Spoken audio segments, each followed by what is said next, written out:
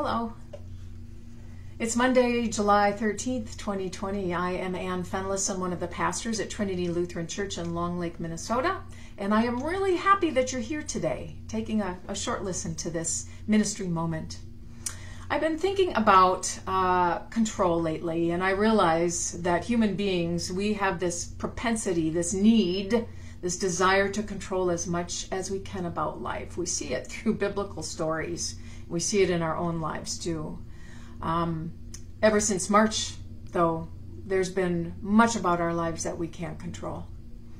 And I was thinking about control and maybe that not being able to control what's going on right now is not such a bad thing for us.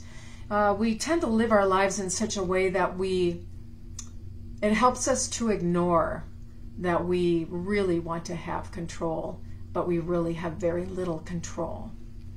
I think of that I Love Lucy episode, you know, the one where Lucy and Ethel are working in the chocolate factory and they're wrapping chocolates on the conveyor belt they're doing a fine job in the beginning, but then that belt goes faster and faster. And eventually it goes too fast for them to keep up. It's comedy gold. But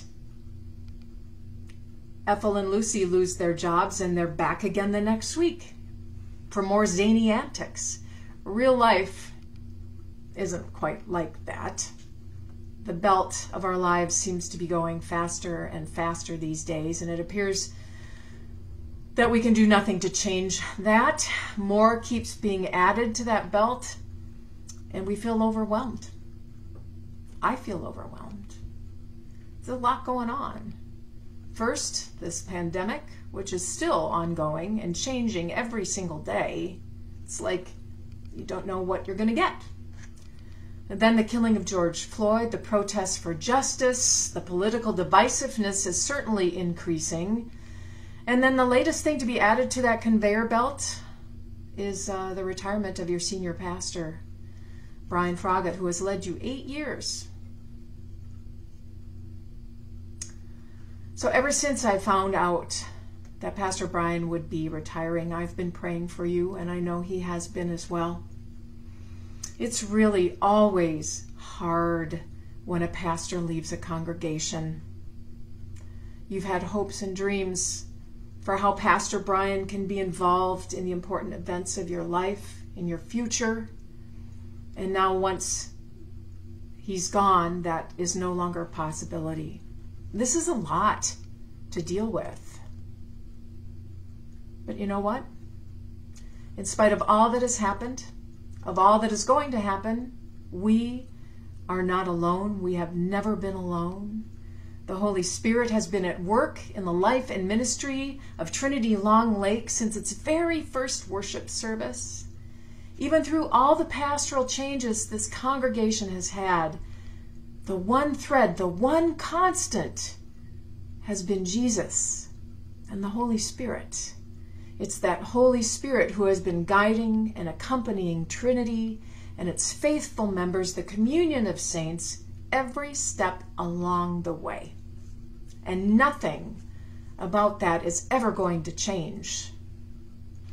So I am studying this book on Acts, written by Matthew Skinner.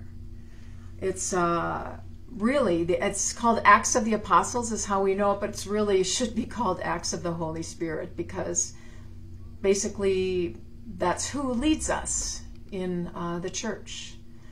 And um, this chapter I'm going to read from is called Discernment and Change. And we certainly are very well aware of the change that's going on. And it's good for us as faithful people to be discerning of the work of the Holy Spirit, to be on the lookout for where the Holy Spirit is guiding us. So I'd like to read just a short paragraph this for, from, from this book for you, and I think you might find it helpful. Christian communities as groups called by God to live faithfully, graciously, and boldly, exist on a trajectory. That trajectory involves living into a rhythm of doing what they know to be right and beneficial to their neighbors, while always looking for ways in which God might be calling them to different or additional forms of service in a changing world. that trajectory of seeking how to live faithfully is what holds a church's larger story together. It's important to remember that. We have a larger story, and the Holy Spirit is in every single part of that. It's kind of exciting, actually. So it's Monday, and I like to pray on Monday. So will you pray with me, please? Gracious God, thank you for your faithfulness, for the leadership of Pastor Brian for these past eight years. Continue to be with him as he prepares to retire, and prepare our hearts too for all that lies ahead. Be with health workers, especially in the places where COVID is spiking. Heal those who are suffering, comfort the dying.